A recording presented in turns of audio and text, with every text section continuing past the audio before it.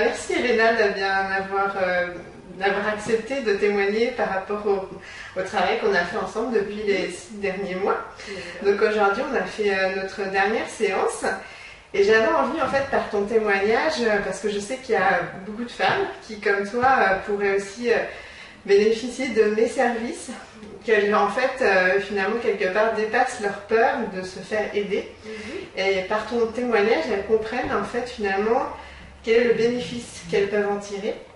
Donc j'aimerais bien en fait que tu nous racontes brièvement dans quelle situation tu étais quand tu as fait appel à mes services. Euh, donc euh, voilà, pour commencer. Alors, euh, j'étais donc, je travaillais et j'avais envie de partir en expatriation en Inde, donc, qui est un pays quand même assez lointain et mystérieux pour beaucoup de monde.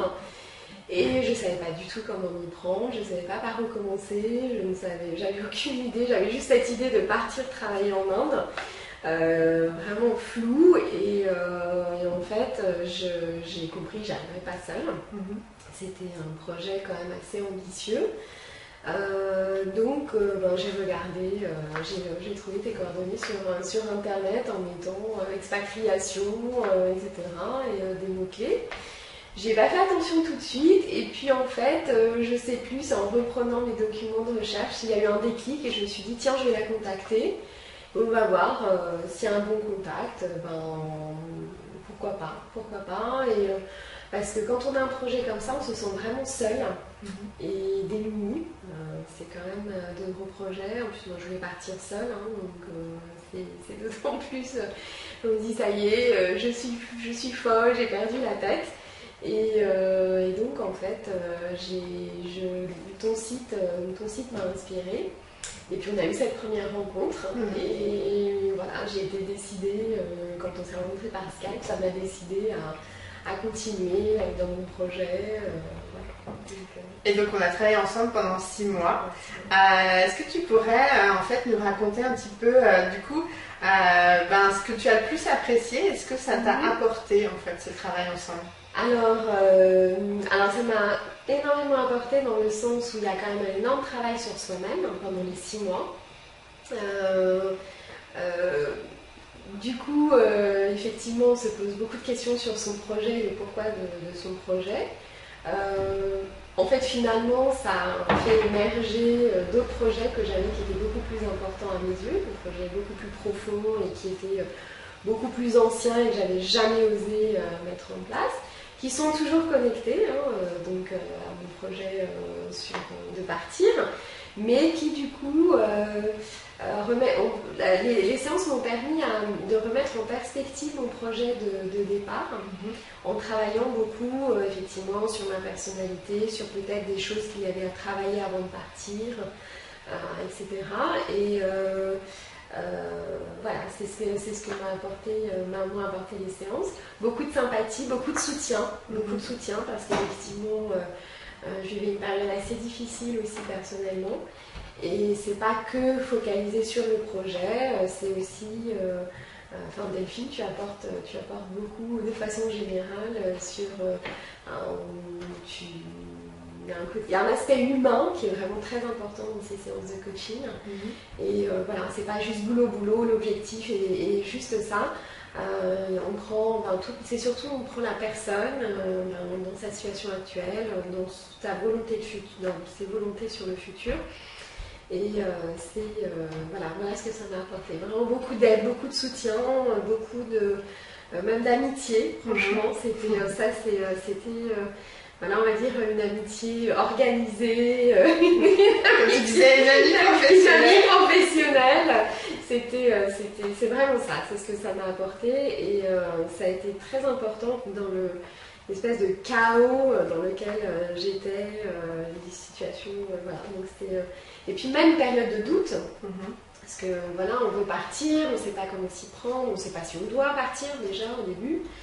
Euh, et, voilà, quelqu'un qui aide à, recentrer, à réorganiser toutes les pensées, euh, toute l'émotion euh, que gère, que gère ce, que génère ce, ce projet. Hmm. Donc quand on s'est rencontrés, quand on a commencé à travailler ensemble, en fait, tu étais donc juriste international ah, pardon, à Paris.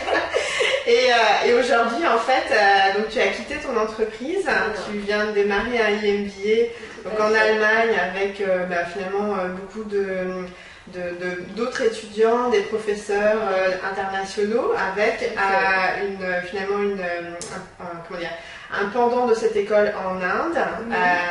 Et est-ce que tu aurais fait ça toute seule, sans l'accompagnement que tu as eu pendant ces six mois? Non, parce qu'en fait, euh, voilà, je voulais faire un MBA, ça fait des années que je veux faire un MBA, et en fait, j'ai découvert qu'il y avait des, exécutives MBA, donc euh, voilà, après une dizaine d'années euh.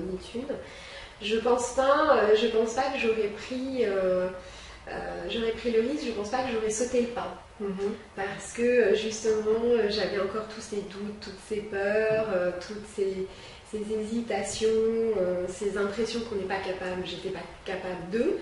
Et finalement, euh, effectivement, au bout d'un moment, ces séances de coaching et. Euh, je me suis dit, mais on parle, tu parles beaucoup du syndrome de l'imposteur. et finalement, j'ai dit, non, non, non, je peux tout à fait le faire. Et effectivement, cette IMBA me, me, permet de perdre de l'angoisse par rapport à mon projet, ce qui permet effectivement de nouer des contacts. Euh, effectivement, cette école, c'est une école, en plus, une école américaine qui a l'une de ses écoles en Allemagne. Euh, j'ai trouvé un environnement où j'étais vraiment chez moi, puisqu'il y a 23 nationalités représentées des gens très différents. Euh, bon, moi toute seule, je suis à un bout de la terre, donc j'ai beaucoup d'origines différentes, donc effectivement, je suis très très à l'aise. et c'est comme si j'avais trouvé une espèce de grande famille, hein, en mm. quelque sorte. Et, euh, et surtout, euh, j'apprends. J'avais envie d'apprendre et euh, j'avais peur de ne plus être capable parce que retrouver, enfin, reprendre des études, voilà, on se, fait un monde. Et finalement, intellectuellement, personnellement, c'est très très épanouissant. Mm. Vraiment très épanouissant. Et résultat, bon, le, mon projet de, départ un petit, était un petit peu modifié, était un petit peu euh, retravaillé, j'ai retravaillé. Euh, mais finalement, le, but atteint, euh, comparé à l'objectif de départ, finalement est même beaucoup plus important parce que il me permettra d'atteindre quasiment tous les objectifs futurs, pas seulement, pas seulement ce projet de base que j'avais. Et puis finalement aussi, j'ai retravaillé mon projet de base pour dire est-ce que c'est -ce c'est comme, vraiment comme ça que je veux le faire? Est-ce que c'est différemment? Euh, et, réaliser que finalement j'étais peut-être pas assez mûre pour le faire tout de suite, pour le réaliser tout de suite, ce projet, qu'il y avait peut-être d'autres choses que j'avais envie de réaliser avant. Et finalement, euh, finalement, ces séances de coaching, ça a fait émerger euh, un tas de choses qui étaient là, qui dormaient en moi. Donc je savais qu'ils étaient là, mais que des, rêves secrets que je mhm. n'osais pas réaliser. Et finalement, c'est ces rêves secrets, des, ces rêves de de jeunes filles ou de, petites filles que je suis en train de réaliser. Et euh, euh, c'est presque plus important euh, mm. que, le projet pour lequel j'étais venue te voir. Que je finirai par réaliser, je, maintenant je le sais, mais, mais différemment et plus tard. Et, voilà. Et, ça va prendre le temps aussi. C'est quelque chose que j'ai appris pendant les séances de coaching. Mm-hmm. Arrêter de tout le temps stresser, être sous pression, vouloir tout tout de suite. Non, ce n'est pas possible. Il y a des étapes à respecter et euh, elles sont importantes parce que ça vaut d'autant plus euh, ce qu'on obtient au final. Mmh. C'est une gamme au final.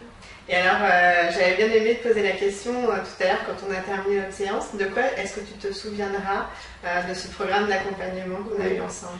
Bah, je, t'ai dit, hein, je me rappelle avec toi, de ton soutien, vraiment, ça, ça a été crucial. ta personnalité, j'ai vraiment beaucoup aimé ta personnalité quelqu'un de, très humain, euh, de très amical, et, euh, mais également très fixé sur les objectifs, bien recentré. Bon, surtout moi, je suis assez bavarde, donc je peux vite partir dans un sens ou dans un autre. Donc bien recadré, donc très professionnel, vraiment très très professionnel, mais avec cet aspect humain et amical, mm. donc euh, qui, est, qui, qui vraiment m'a beaucoup touchée. Euh, et euh, donc ça c'est un souvenir, euh, déjà les, séances en général c'est un bon souvenir parce que voilà, je me rappellerai de la personne mhm. avec laquelle j'ai travaillé, et donc de toi Delphine. Et ensuite je repars avec des méthodes de travail sur moi-même. pour savoir, voilà, en période de crise, comment faire, les questions à se poser, le recul à avoir, les exercices à utiliser. Mhm. donc une méthode, et ça c'est très important. Et puis, euh, et puis je repars avec euh, aussi euh, bon, de la bonne humeur. alors je sais plus, je sais que j'avais dit une troisième chose, mais là, c'est pas mais, voilà, mais pour moi ça c'est vraiment le plus, le plus important. et puis surtout, je repars avec une réalisation de mes rêves profonds. Hmm. Et ça, c'est vraiment. Enfin, ça, c'est un souvenir, je pense, qui est. bon, j'ai j'ai fait d'autres, d'autres choses, d'autres méthodes. Bon, j'étais repartie avec de quelque chose, mais là, repartir avec ses rêves d'enfant et ses rêves, euh, vraiment, c'est. Euh, euh, je pense que c'est, l'une des plus belles choses qu'on puisse mm. obtenir, vraiment, l'une des plus belles choses que j'ai obtenues de la séance de coaching. Merci. c'est moi, merci Delphine non, parce que si tu pleures, je pleure, donc on va pas se lancer sur ce terrain-là, c'est dangereux. Et euh, donc voilà, mais tu sauté le pas Non, non, non, pas du tout. Et je conseillerais, euh, je conseillerais, bien évidemment. Je pense que, bon, on, parle de toi, des séances de coaching, mais je pense que les personnes qui viennent te voir doivent venir vraiment euh, avec l'esprit ouvert. Mm-hmm. Et vraiment en se disant, euh, ben là, j'ai quelqu'un qui va s'occuper de moi. Mhm. C'est mon moment à moi. Donc, il faut que j'écoute, il faut que je comprenne, euh, il faut que je me comprenne. Et en gros, ces séances de coaching, euh, c'est un petit peu, j'allais dire, c'est dix fois plus puissant qu'une manucure, mais je sais pas comment dire, mais disons qu'il y, a, un aspect, c'est son moment à soi. Mhm. Et, je pense que les femmes qui viennent te voir, il faut vraiment qu'elles prennent en compte que euh, dans séances de coaching, c'est prendre soin de sa beauté intérieure. Hmm. Voilà. Hmm. Donc euh, voilà, c'est ça, c'est euh, chaque séance, ben, c'est pour soi, c'est un moment privilégié et, il faut venir vraiment l'esprit ouvert, il faut travailler sur soi-même, il faut accepter de travailler sur, soi-même, hmm. il faut accepter d'être face à une certaine chose de soi-même qu'on n'aime pas toujours, hein, faut le dire aussi. Euh, mais aussi, il faut accepter d'être face à des choses de soi-même qui sont vraiment très belles et qu'on n'accepte pas non plus, mmh. finalement. Mmh. On a autant de mal parfois à accepter le bien, euh, les, qualités que les défauts. Et euh, ça, c'est le message que j'aimerais donner, c'est n'hésitez pas à vous regarder en face. Le bien et le mal, il n'y a pas de souci, mais vraiment tout et savoir qui on est, parce que c'est quand on sait vraiment qui on est qu'on avance. Bah, merci beaucoup. Merci Delphine. Bonne continuation pour toi, Merci, toi aussi.